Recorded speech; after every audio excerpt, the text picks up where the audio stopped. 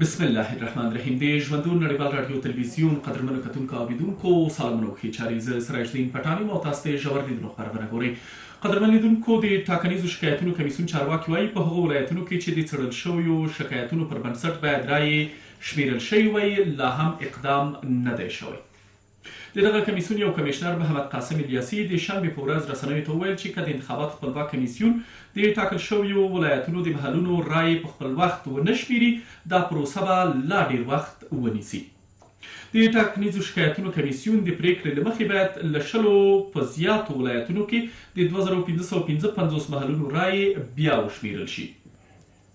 د افغانستان د ولسمشرۍ انتخاباتو شکایتونو ته د رسېدنې پروسه د جدي میاشتې په اتمه نېټه پیل شوه او په پام کې ده چې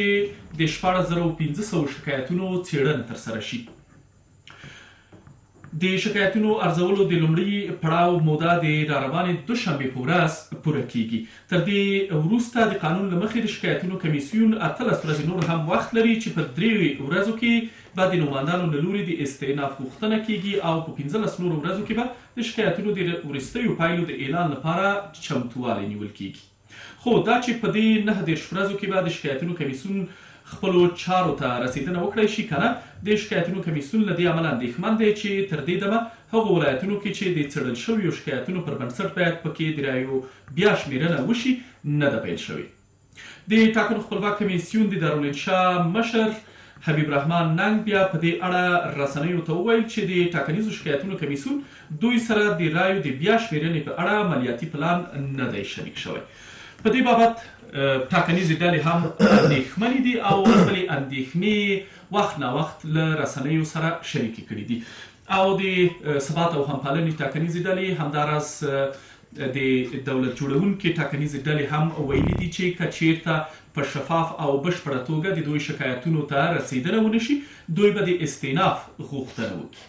د همدې موضوع د لا وضاحت او څېړنې په موخه مو درې قدرمنو مېلمنو ته بلنه ورکړې، هر یو ښاغلی سید یونس سیدي د سیاسي چارو مبصر، ښاغلی فیضي ځدراڼ لیکوال، ژورنالیست او د سیاسي چارو مبصر او ښاغلی محمد یاسین حبیب په افغانستان کې د فلا او ملي بیدارۍ د ګوند مشر. قدرمنو میلمنو ښه راغلاست ستړي مه شئ. سیدي صیب بحث به له تاسې پیل کړو او بحث به له دې ځایه پیل کړو چې یو ځل بیا د ټاکنو خپلواک کمیسیون او شکایت ته د رسیدو کمیسیون تر منځ یو تقابل رامنځته شوی او په یو بل باندې پړه اچوي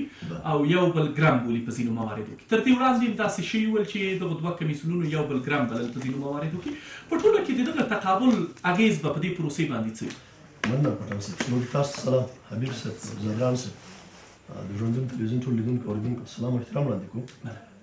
وګورئ لکه څنګه چې دې ته د نوم اخلو چې دا مستقل کمیسیونونه دي بدبختي دا ده چې دغه مستقلواله بیا دغه څه خبرې چې دوی کوي او څرګندونې په حساب باندې چې لکه تاسو چې نن څه ویل چې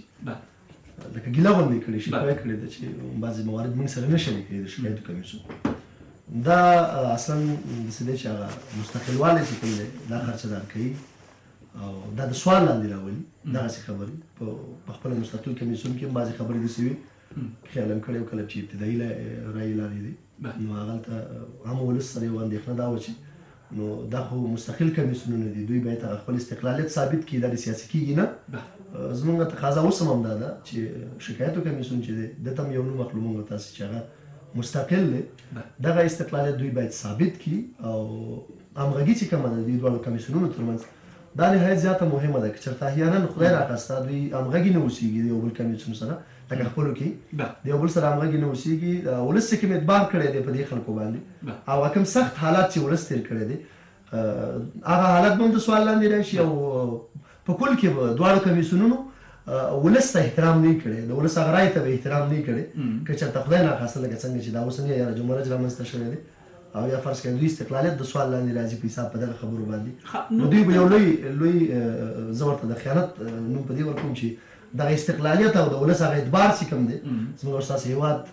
په هغه وضعیت کې نه دی لکه څنګه چې اروپا او دا دلته دغه استقلالیت څنګه تر پوښتنې لاندې راځي دغه کمیسیونونه یو بل په عدم د مدیریت تورنوي او وایي چې په هغه وخت باندې چې باید اجراات وکړي نۀ کوي نو ځکه دغه پروسه ځنډېږي. یعنې دا یو رقم فشار دی زما خپل په نظر باندې د یو طرف نه په حساب په کمېسیون د شکایاتو باندې ځکه دی دۀ ته اړ کېږي چې د مستقل کمېسیون سره خپل هغه څه چې پکار دي باید شریک کړي چې نۀ شریکوي. اوس وګورئ ننګ صاحب دا د رئیس دعلوي شاه دی دا چې ګیله کوي او شکوه کوي ولې کوي یعنې ولس سره لکه زه من حیث یو شهروند ما سره سوال پیدا کیږي چې ولې ډاکټر ننګ یا فرض کړ کمیسیون د مستقل انتخاباتو یا دعلوي شاه سره دغسې اندېښنې پیدا شي چې شکایتو کمیسیون کې دغه مسله ده او یا فرض مثال موږ سره هغه موارد نه شریکوي یعنې زما خپل برداشت دا دی چې دا نوع فشار دی په دې کمیسیون باندې او دا دې تارکۍ چې دی که شکایت د مستقل کمیسیون سره څه فکر کوي دغه فشارونه د چا لخوا په دغو کمیسیونونو باندې دي یا دا کمیسیونونه د چا او چا ترمنځ ویشل شوي دي دا دا خو ښکاره ده کنه ټول ولس په دې باندې اګاه دی چې کوم ټیمونه مخکښ دي او کوم ټیمونه چې دی هغه نو تر دې مو لیدلی دي چې هغه تر دې حد مطلب څه نشي کول همدغه مخکښ ټیمونه کېدای شي چې فشار ولري په حساب باندې په دې باندې او دا دې ته وادار کړي چې د د ډاکټر ننګ سره او یا فرض مثال د مستقل کمېسیون سره یا د رنګشاه سره هغه څه چې په کار دي چې شریکې کړي چې نه شریکې کړي او دا یاد ساتي چې دغه نهه دېرش ورځې چې کوم دوی وخت ورکړی دی دغسې حالت یعنی برداشت دا دی چې دا به ځنډېږي نهایي پایلې چې کومې دي لکه دغسې وضعیت چې که چېرته رواني دا پایلې به ځنډوي او په حساب ولس ته هغه څه چې په کار دي او په خپل معین وخت کې په کار دي هغه به ورته نه نه ښکاري. نو ولې د تاسې په باور د شکایاتو ته د رسېدو کمېسیون دا خپل عملیاتي پلان د ټاکنو له کمېسیون سره نه ده شریک کړی یا یې نه شریکوي؟ اوس نو کاشکې چې د شکایاتو کمېسیون نه تاسو ته ووایم هغه به وو. تاسې د تاسې په باور تاسې ویل چې. یعنې ما مخکې ویل چې دا یو نوع فشار دی په دې کمېسیون باندې د یو طرف نه چی دی دی ته مجبوروی چی دا د کمیسیون د مستقل سره باید خپل دغه څه چی په کار دی چی شریکیږی چی یې نه شریکوی یعنی زما خپل برداشت د دی قضیې نه دا دی چی په دی یو فشار دی او نه تر څو دی دی ته واداریږی چی د مستقل کمیسیون سره یا د علم شاه سره خپل هغه څه چی په کار دی چی شریک چی نه شریک ښه مننه سیدی صاحب تاسو ته بیا راوګرځم ځدران صاحب تاسو ته راځم تاسو د دی ټاکنو د خپلواک کمیسیون او د شکایت ته د رسیدو کمیسیون ترمنځ د تقابل او د کشمکش او د یو بل تورنول څنګه ارزوئ؟ د تاسو په باور د دې تقابل تاثیر یا اغیز به په دې پروسې باندې څه وي؟ بسم الله الرحمن الرحیم پټان صاحب تاسو ته سعیدی صاحب ته حبیب صاحب ته تاسو ټلویزیون ټول درنودونکو ته سلام علیکم دی علیکم السلام با څنګه سعیدی صاحب ویل زه به هم راغبرګ کوم د خبره متاسفانه فشار په هغه چا باندې راځي چې هغه ولس د سوازي هغه پکې چې هغه عام وګړي دي سوازي هغه پکې چې په دې سخت ژمي کې په دې توره سیلا کې فقط بيګا ته د يوه کيلو ګاز پيسې نه لري چې هغه وسوځوي خپل بچيان ورباندې ګرم کړي یوه بړستنه یوه کمپله څوک نه لري چې هغه ورباندې واچوي پټې کړي اقتصادي حالات تاسو وګورئ کوم څو تر اوس پرون شخصا خپل ما په ګاز پسې پیسې ولګل یو کیلو ګاز اتیا افغانۍ ته خرج دی د لاره کې چې سنگ زغال یا د نور د سون توکي چې دوی وایي چې د هوا د ککړتیا سبب کیږي دم په خلکو باندې بندوي یعنې وضعیت په کل کې دې ته راغلی دی که که مونږ بهرنی اړخ یې وګورو او که کورنی اړخ یې وګورو دغه تقبل فکر فکر کوم همغه سلسله ده همغه تقبلاتو ده چې دغه موضوع بل اخره کش کوي هغه څه ته چې زه فکر کوم په مدیریت د دې موضوع کې نړیوال سهم لري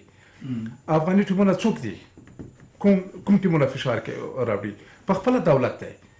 پنځوس پنځوس دولت تقسیم شوی دی پنځوس پنځوس دولت تقسیم شوی دی یو طرف ته عبدالله دی او بل طرف ته ډاکټر صاحب غني دی دوی دولت همدغه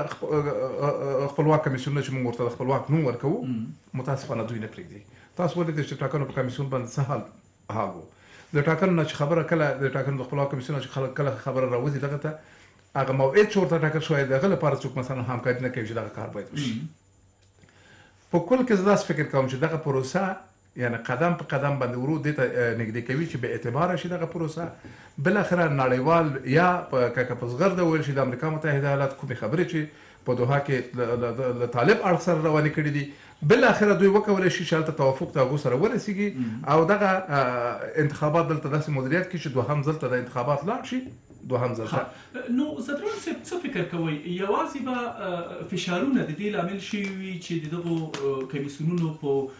کارونو کې ځنډ او خنډ رامنځ ته شي او که دا د دغو کمېسیونونو د مشرتابه او کمېشنرانو تشکیلاتو په عدم مدیریت او ناپوهۍ او په اصطلاح نورو ستونزو باندې دلالت کولی شي. خو کاملا یو خو د دوی په راتګ سره ډېره زر د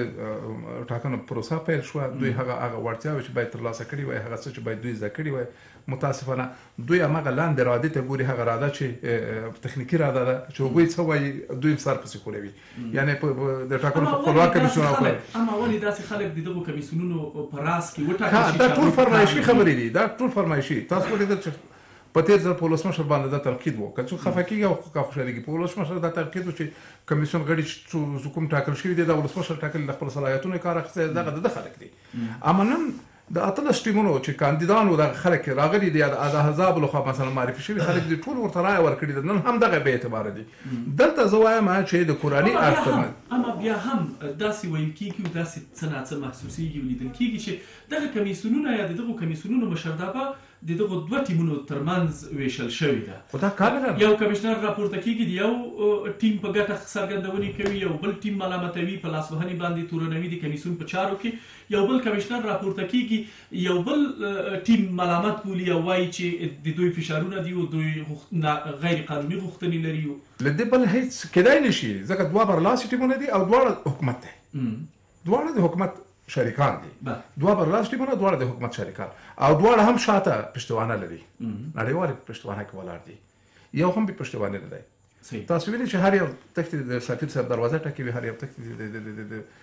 وزیر صاحب خارجه سره په ټلیفون باندې خبرې کوي له بل سره په ټلیفون خبرې کوي وضعیت په خپل همدغه دواړو ټیمونو په فیصله دغه ځای ته رسولی دی او شاته هم بهرانیان هم به مداخله نه لري پاتې بهرانیان هغه څه چې غواړي زه فکر کوم دا انتخابات داسې ورو ورو ورو ورو ورو شاربي شاربي تر څو دوی هغه څه چې لري هغه باید ترلاسه کړی شي مننه زدران صاحب تاسو بیا راوګزم حبیب صاحب اظهار نظر میمانا را شنیدین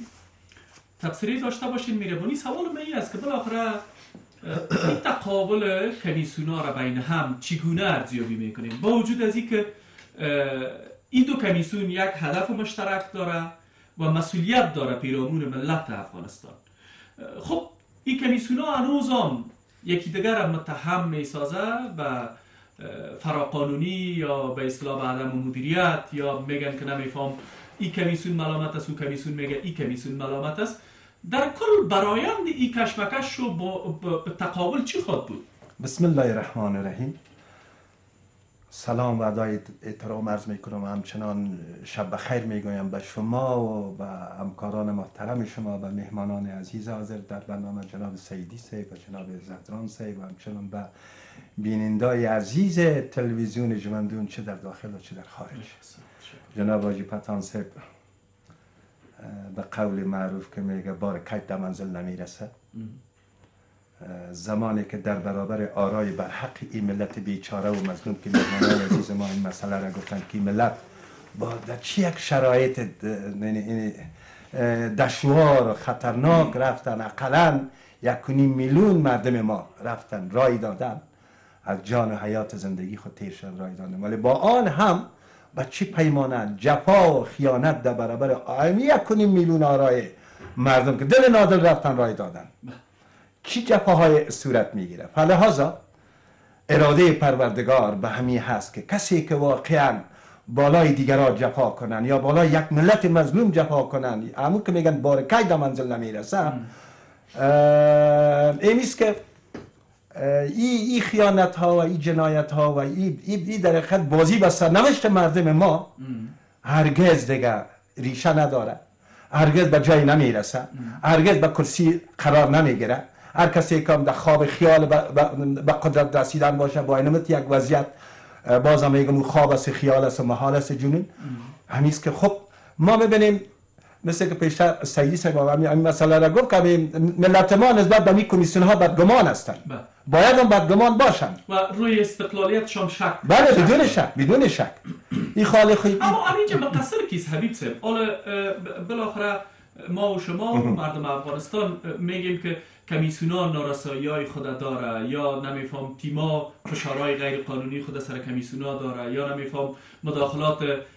اجانب است در پروسه ملی افغانستان اما وقت مسئولین آدم دعوت میکنه یا با مسئولین میشینه مسئولین باز از مسئولیت شانه خالی میکنه و دگرا را مقصر بله. میدانه امی مقصر اصلی کیست به نظرتان کمیسیون انتخابات بله. کمیسیون سیستم شکایات بله. تیمای دولتی که کاندیدای خود داشتن یا خارجی ها کی جناب آجی پتان صاحب مقصر کسایی هست که به خاطر به قدرت رسیدن خودشان من نمیگم احمد یا محمود ولی که ای که میگم کسایی که به خاطر به قدرت رسیدن خود یا بقای اقتدار خود میلیاردها میلیاردها رو پر مصرف میکنن او را از پول بیت المال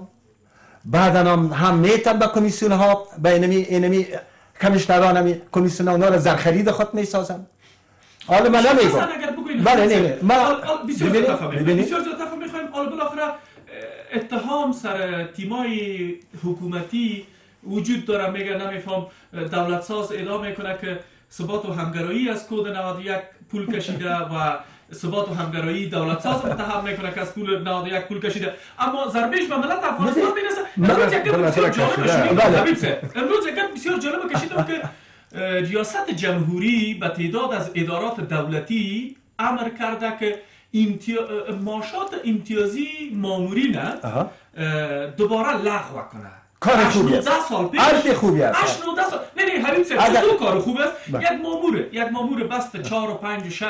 که یک 10 12 13 هزار افغانی معاش میگرفت معاش از او حالا دوباره 7000 و 6000 میشه ولی کسایی که معاشای 18000 دلار و 20000 دلار میگیره او چرا کار ما دیگه چی گفتم من گفتم کار خوب به این خاطر گفتم که امروز ما در بعض وزارت خانه حالا خود چون از بعض بیرون نشیم منحرف نشیم ما در بعض از وزارت خانه ها میبینم که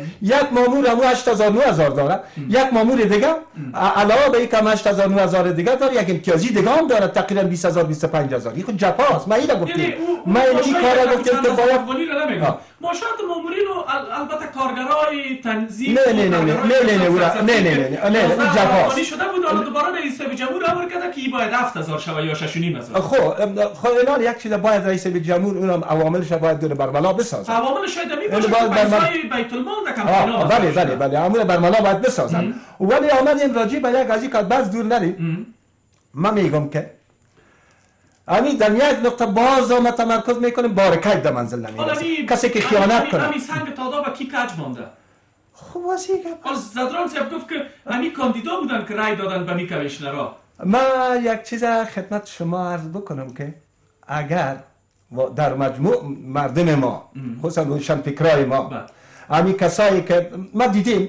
به خدا کسایی که داد روشن فکری زدن سنگ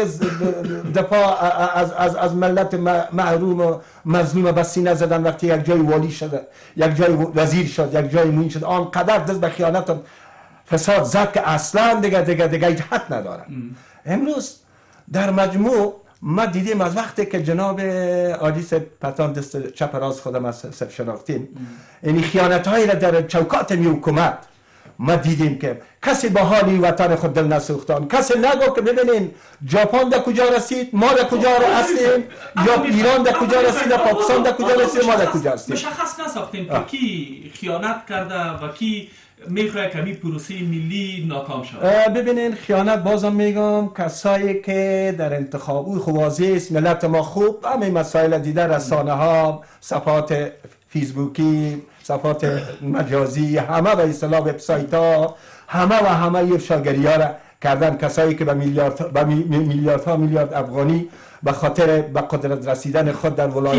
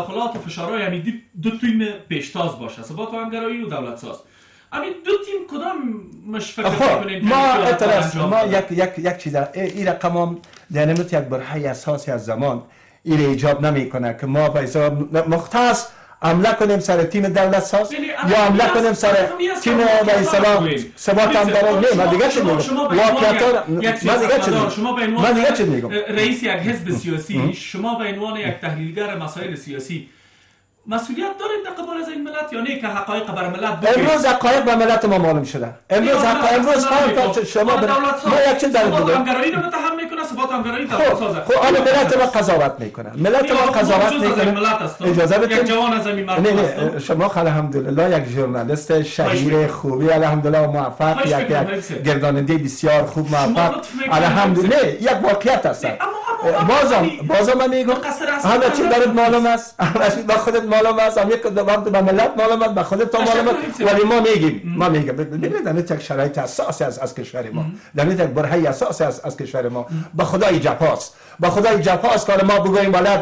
در فرق تیم دولت ساز بزنیم که خیانت کرده چینیم کرده یا بعد دوستای دیگه در فرق تیم سباتان گرایی بزن که خیانت کرده من میگم من میگم خوب است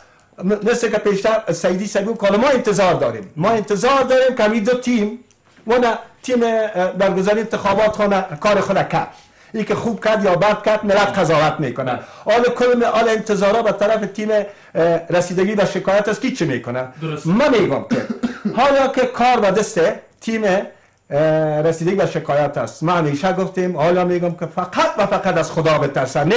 نه از احمد و نه از محمود فقط به حال ملت دل بسوزانن فقط به حال کشور دل بسوزانن فقط حق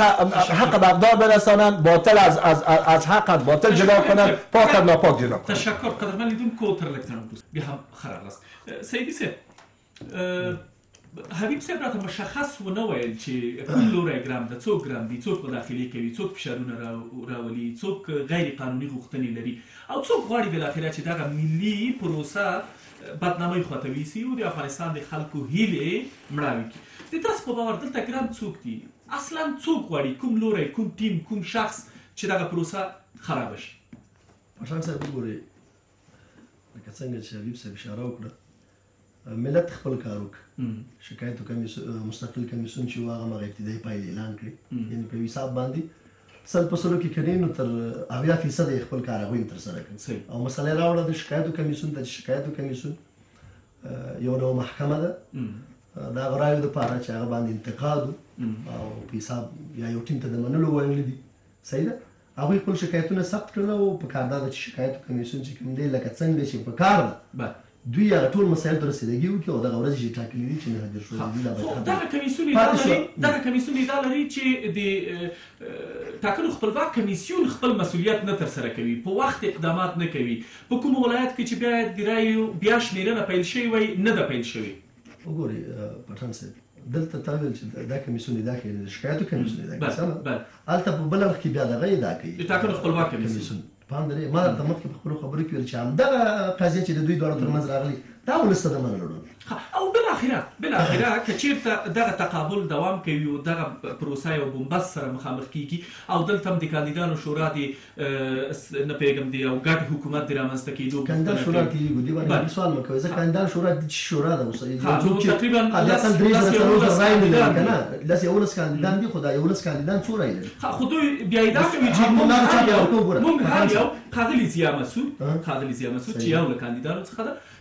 احمد ولي مسعود دا وکړل احمد احمد ولي مسعود په ډېرې بخښنې سره احمد ولي مسعود چې یو له کاندیدانو څخه د جمهوري ریاست ټاکنو کې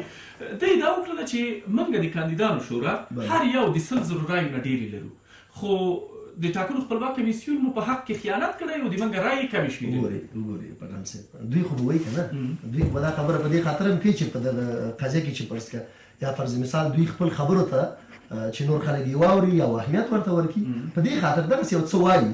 همدا هغله ضیا مسعود چې دی ویل د دین د تورسن او احمد ولی مسعود بخی چې ما مو اشتباه وکړه د تورسن صاحب رایم تی زیاتې وي دلته د څه خبرې دی ښه پټن سي یعنی زه شخصا وایم چې راځي هغه خلکو ته ترجیح ورکو چې هغه په حقیقي معنی باندې راوړي دا اوس دا دوه ټیمه دي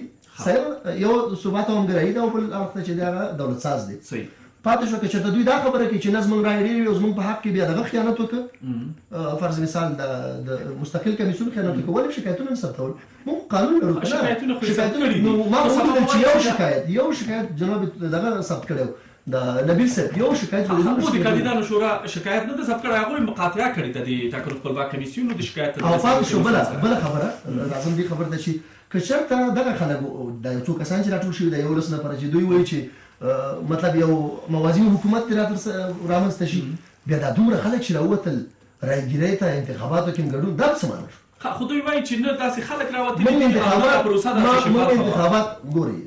دوی نو ما مخکی بیا زه خپلی خبری ته راځم دوی خو غواړی چی په نوی نوی ورنوه خپل ځان په دی سیستم کی لکه څنګه چی یو پخوا یې لاره چې زامن دي پکې، دوی دي پکې، باوجود د دې چې دوی لیاقت ولري یا د ونه لري، موږ دا انتخابات د همدې لپاره تر سره کړي دي چې هغه ورزیده او لایقه خلک چې هغه په دې وطن باندې دردیږي، موږ وایو د دیموکراسۍ مانا په څه؟ یعنې ولسواکي په دې مانا چې ولس راپاڅیږي او د خپل خوښې شخص ته هغه په حساب باندې رایه ورکوي او هغه ګوماري، دا په دې مانا نه ده چې اوس که چېرته ته واک ته ونه رسېدې او چا درته رایه درنه کړه بیا راشه دغسې څرګندونې وکړه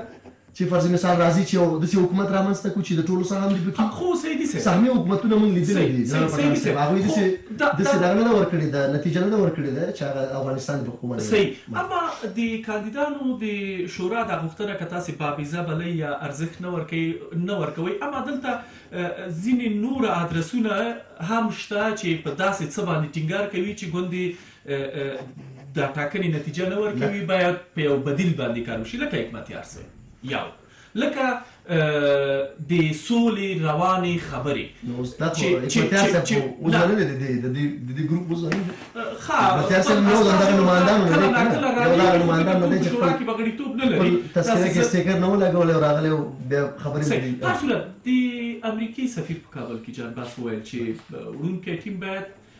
یو مشارکتی حکومت جوړ کی او د ټولو خواو نه د ټولو خواو نه پکې دا شی باید یاد ونه باسو صحیح ده چې امریکایان چې دی موږ سره همکار دي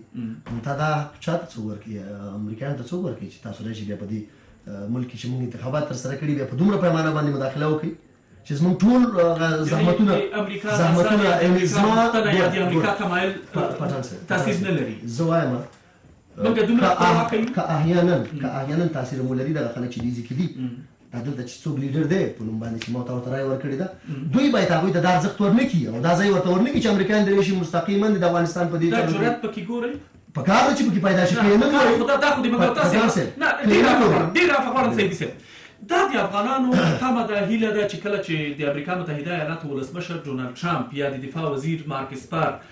یا مایک پمپیو د بهرنیو چارو وزیری راځی نو ارګ ماڼی ته دی راشی او مخکی له مخکی نه دی افغان چارواکی خبر کی دا دی منګه او تاسی دا غرور ایجابوی او دیپلوماتیک اصول هم داسی دی اما کله چی بګرام ته راځی او دی منګه څوک پی خبر هم نه وی دوی ته تلیفون کوی چی عاجل بګرام ته ځان راورسوی او دوی بیا ځان په څو دقیقو کی ورسوی دا دی خپلواکی په معنا ده دا فکر کوی چی بیا دغه چارواکی دومره جرات او قاطعیت ولري چې امریکا ته ووايي چې تاسې مداخله مه کوئ. اوس اوس سره د دې چې دا مسله شوې لکه تا ورته اشاره وکړه اوس که دا اړخ هم پرېږدو چې دغه دې راځي جانبست دې راځي داسې څرګندونې کوي سمه ده نو بیا دا خلک چې دلته په لیډرشپ کې ناست دي او ځان ته لیډران لیډران وایي د دې خلکو او یو رقم نه یو رقم دعوا دا کوي چې موږ جهاد کړی او مقاومت کړی او نه پوهېږم د روسانو په وړاندې موږ ودرېدلي یو جنګ هم کړی دی صحیح ده بیا دې دې ټول شیونه تېر شي دا خلک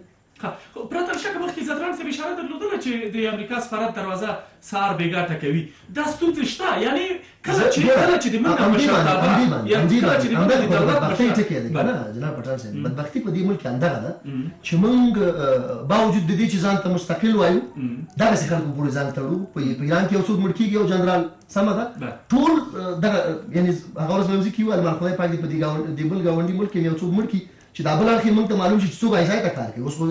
د دغه سپاه پاسداران خو پته او معلومات خو وشو چې دلته څوک څوک د چا دپاره زما او ستا یو جنرال چې هغه جنرال صاحب رازق درته وایم زما او ستا دغه هېواد یو لوی ستن هغه هغه شهید کیږي په حساب باندې ګاونډي ملکونه هیڅوک هم ځان نه خوځوي مګم دلته چې یو څوک چې ایرانی دی په حساب باندې د ایران جنرال لیزي په عراق کې وژل کیږي زما او ستا ټول د مخې ور خوشي دي بدبختی چې موږ تاسو دا ولسی ور سره مخ کړی دی هغه همدغه ټکی دی چې دا خلک با وجود د دې چې موږ ته دغه سي چانزنیان کوي لا پټاکی کوي پرته وایي چې موږ مستقلی یو څو نور خبرې ور سره کوي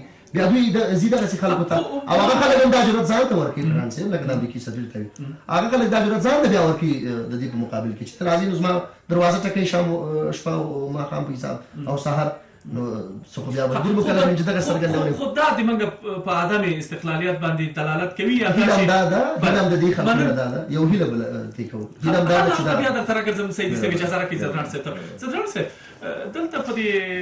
د بهرنیانو په مداخلي باندې خبره راغله او دا خبره مخکې تاسې راواخیستله چې پردۍ مداخلې شته او دا بې تاثیره نه دي د دې پروسې په برخه کې څومره واقعا موږ افغانان خپلې پریکړې کولی شو یا دا چې واقعا چاره یې وړې وي هغه به ګټونکی وي او دلته به دغه څه مسایل دومره اغېز ونه لري ترڅنګ یې زما پوښتنه دا ده چې که چېرته دغه پروسه سمه نه مدیریت کېږي او د داسې کړکېچ او بمبست سره مخامخ کېږي او داسې تقابل رامنځته کېږي یو بل ګرم بولو څومره شونې ده چې بالاخره هغه نورو مؤالفو ته دې لار پرانیستل شي یا د دښمن ژرندې ته دې اوبه برابرې شي یا بالاخره دا ټاکنې دې بې پایلو پاتې شي او داسې په یو بل څه باندې دې فکر وشي؟ زه د دې ولس د یو وګړي په توګه دا خبره کوم هغه څه چې وایي څه چې عیان دي عیان دي د غیر بیان ته ارزښت نشته خبره دا ده چې زمونږ حرکت او زمونږ سکانات ټول معلوم دي د پردیو داخله په رابطه دا خبره کوم په زغرده دا خبره کوم چې مونږه په ټولو ارسو کې په سیاسي ارسا په اجتماعي ارسا په فرهنګي ارسا په اقتصادي ارسا په نظامی ارسا په دې ټولو برخو کې مونږه متاثر دي پردیو ته مونږه متاثر یو څه چې د سایدي صاحب د خبره پر رابطه غواړم چې وایم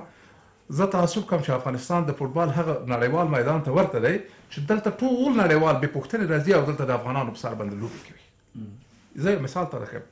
منګه ډیر باسونه په دې باندې کړي ما بل ځل ملي ټلویزیون کې د موضوع رد کړه چې ویل چې طالبانو مزه طالبانو وای نه ولې طالب لا تر اوسه پورې تاسو ماته نشئ خودلای چې ویل شي وی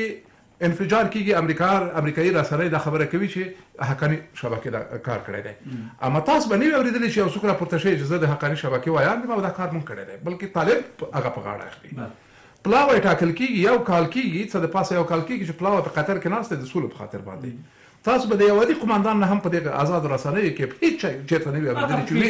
او چې ویل شوي وي چې زه دغه پلاوی نه منم دا زما نمایندګي نه کوي زه نظامي یم زه فلانه یم زه جنګ کوم سوله نه کوم زموږ لپاره فقط یو خبره کیږي چې بهر چې څه ووایي اقتدا موږ په هغه پسې تړو. په بهرني کې مثلا متحده ایالات چې هر څه وایي موږ اقتدا په هغه پسې کوو چې دغه څه ویلي دي همدا خبره زموږ لپاره سند دی دا خبره زموږ لپاره قانون دی دا خبره زموږ لپاره اصول دي هر څه دي یعنې د مداخلې خبره خبرې ته راځم راغلو څه ته د افغانستان سوله د افغانستان د حکومت تر چتر لاندې ولې دغه زموږ سیاسي مخالفین اپوزیسیون او دغه نور نه راټولیږي چې د افغانستان د حکومت تر چتر راټول شي او واحد هیات ولري، واحده ژبه د سولې په رابطه باندې ولري یا واحده ژبه د انتخاباتو په رابطه باندې ولري. دا حکومت یوه ژبه نه لري. لازم همدغه ته حکومت خپله یو څه یو حزب نه دی چې د یو حزب له خوا مثلا حکومت تشکیل شوی وي یا غني یو حزب ولري یو قوي حزب ولري چې د حکومت تاسیس کړی وي هر څه چې دی وایي هغه تطبیق کړي لکه په متحده ایالاتو کې مثلا دوه دوه حزبه برلاسي حزبونه دي چې ډیموکراټان دي او جمهوري غوښتونکي دي.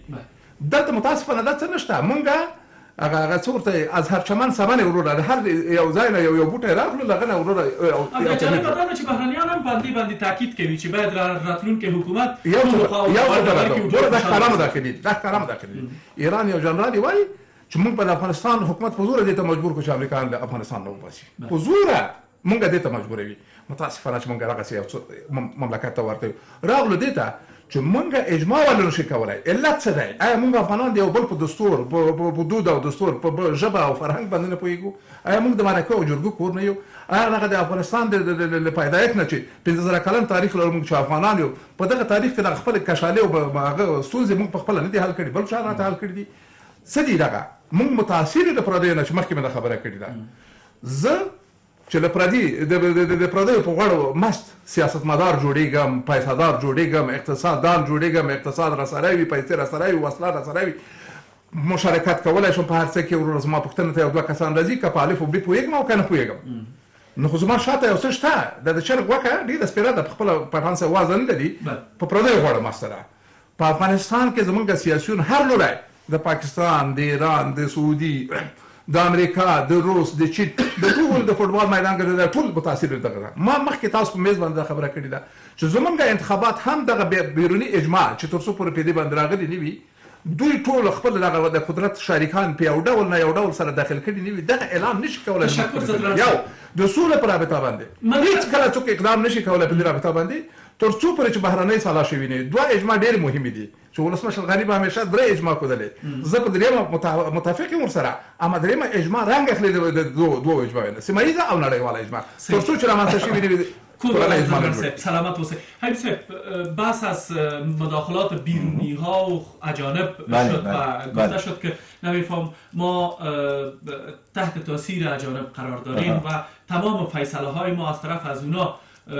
صادر میشه و فرمایش از اونا می باشه و ما صلاحیت و قدرت آنچنانی را نداریم که باید داشته باشیم میشه نظر تفسیر شما داشته باشیم و سوال مشخص می است که امی انتخابات به نظرتان در امی دور نخست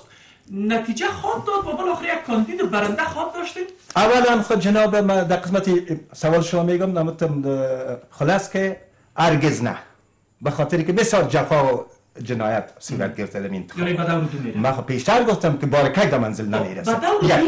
یا یک ما دور یک چیز امیدوارم دیگه که است به مو دور در دوم که اگر نتیجه گناه ما امیدوارم که پنج سه سال روی دست گرفته شود ام. اینمی انتخاب انت- انتخاب رسوا و ریشخندی که ب- ب- جفا صورت گرفت در برابر فدای آقای بر صلح حق شود. مردم فدای سال شود بله امروز ملت ما به صلح ضرورت داره نه به اقتدار بارستانی آقای اشرف غنی اشرف غنی د میتیول بیای که حقایق ات شما پیشتر معنا گفتین که حقایق بگو در میتیول پنج سال آقای اشرف غنی به این ملت مظلوم چی کرد که حالا بازم بکنه امروز مرد سال بر ما مهم است امروز نجات اولاد مردم مهم است نه اقتدار دوباره اشرف غنی چرا 200 میلیون دلار مصرف کرد ببینید امروز هیچ کس موافق نبود دیگه صرف غنی موافق بود به این کار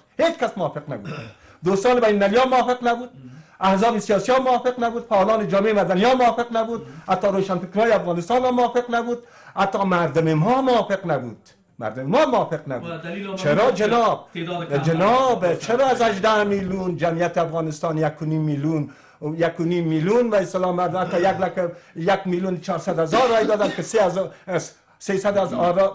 سیصد از هزار آرای جلی را من زمین از این ساختن ولی اصلا یک میلیون چهارصد هزار مردم رای دادن حال مردم ما باید صلح بیاید جنگ اختتام پیدا بکنه دیگه اولاد مردم از کشتار و نابودی چیچا دوم مسئله خب مسئله ده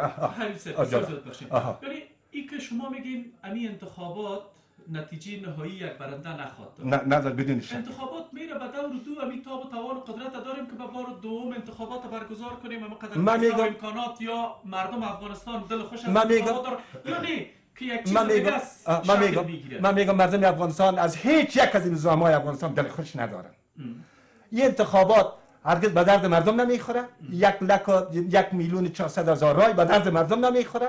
این فقط یک ترفند بوده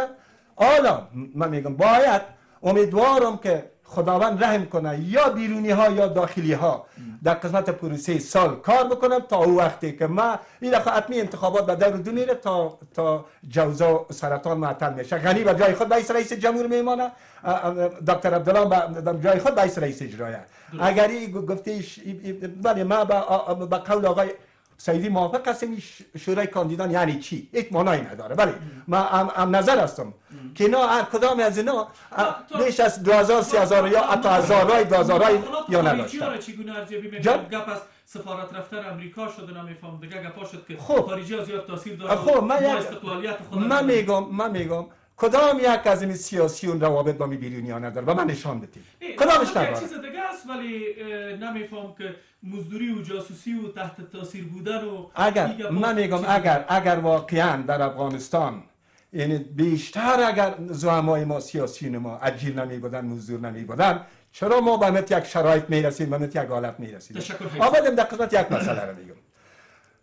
که ما زمان میتانیم که بیرونی ها را اجازه بدیم دوباره نه در قسمت هم سوال شما اگر ما زمان میتانستیم که بیرونی ها رو به ارپا و به سفارشات بیرونی ها نبگوییم که ما صاحب یک زعیم خداپرست مؤمن ملی وطن دوست وطن پرستی که فقط و فقط اتکاج به خدا می بود به خود ملتش می بود به سرمایه های ای ملت می بود نه به خارجی ها و بیرونی ها و شرق و غرب و شمال و جنوب دنیا سلامت باشین سیدی صاحب د حل لاره څه د حبیب صاحب وایي چې د دې ټاکنو په پایله کې به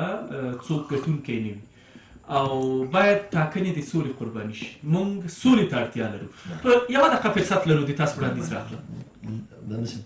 دغه خبره په شوګر ته وایي ټاکنې بل ډول ته نه ځي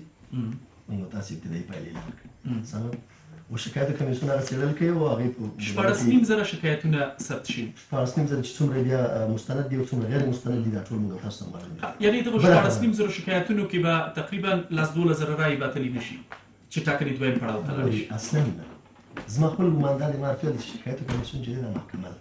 د هغه رایو لپاره چې په هغې باندې شکایت شوی دی اوس د دې تضمین څوک کوي که دغه شکایتونه چې څېړل کېږي او چې وڅېړل شي د دې نه وروسته دغه رایې چې اعلان شوي دي دا زیاتېږي د دې تحمیل خو شته موږ یوازې منفي اړخ ته زیاتې بشي چې زیاتې بشي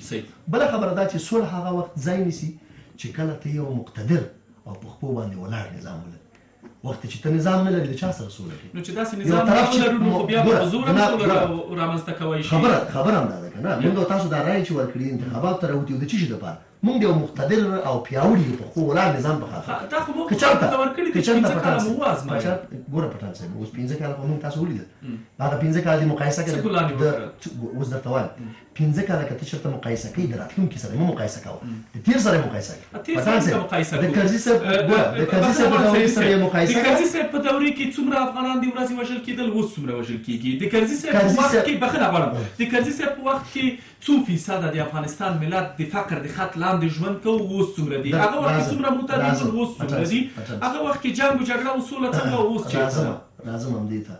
خبره دې ځکه ده چې یو څوک حساب کوي سمه ده چې څومره وژل کیږي هم درته په قلم لیکي چې څومره نه وژل کیږي هم په قلم لیکي څومره چې د فقر د دغه لاندې خط لاندې ژوند کوو هم درته په قلم لیکي د کرزي صاحب په وخت کې خو دغه حساب معلوم نه که نه ځکه ته دا خبره تا دې ته واداري چې د کرزي صاحب په وخت کې دومره خلک نه دي وژل شوي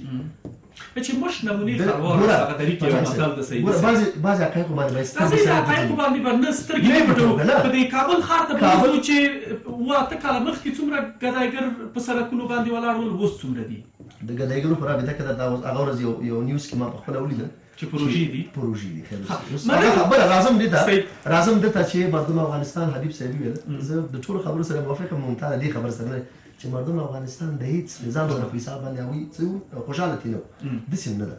مردم افغانستان خوشاله وو ځکه په انتخاباتو کې ډېره مننه سیدي صاحب کور ودان ځدراڼ صاحب فقط یوه دقیقه فرصت لرو څه کول پکار دي د تاسو نظر د دوستانو په خبرو باندې څه ورور شرایط دغه حالت ته رسېدلي دي چې نور وایي هغه کله چې اوبه وای تر القه شي زوی تر پښو کېږي خلک خپل اولادونه خرڅوي غلا په دومره اندازه سره زیاته شوې ده چې اوس زما یو دوست د قربان په نامه باندې هغه راته قسم خوړ وای په چاقو باندې له مانه دوه موبایل او لس زره افغانۍ یوړل دی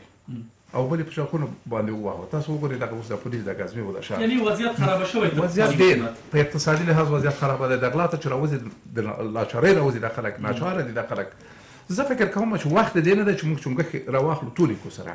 وخت د دې دی چې د یو سقف لاندې د یو شنه اسمان لاندې د یوه د یوې جغرافیې په حدودو کې موږ افغانان ځانونه وشمېرو او په کلکه ملا وتړو د دې لپاره له خپلو ځاني ګټو تېر شو. کور ودان حبیب صاحب رای حل پیشنهادی شما. رای حل پیشنهادی ما این است که کمیسیون رسیدگی به شکایت هرگز زیر تاثیر فشارهای سخت